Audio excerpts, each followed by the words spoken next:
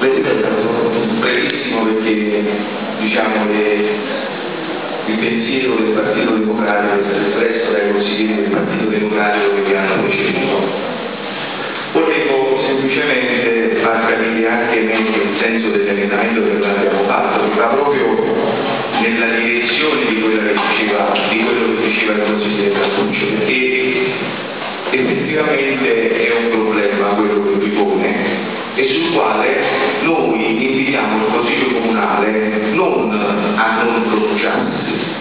ma a rinviare questa tematica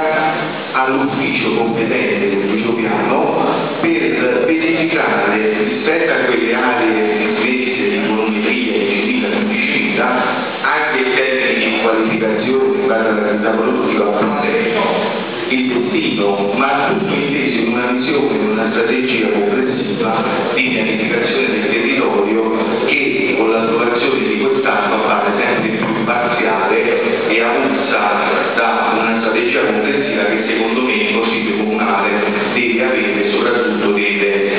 eh, indicare. Rispetto poi ai ragionamenti ai 25 anni di centro-sinistra, Partito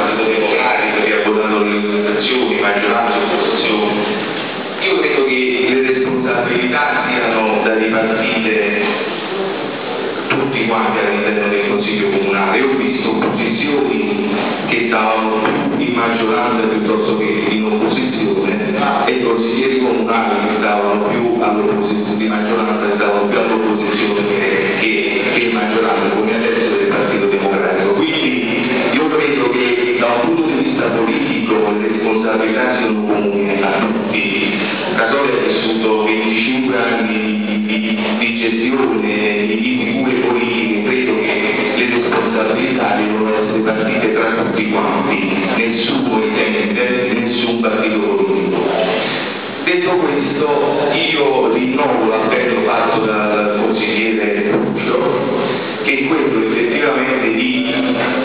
non pensare di quantificare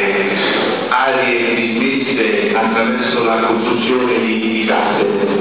ma cercare di approfondire la tematica da un punto di vista più generale,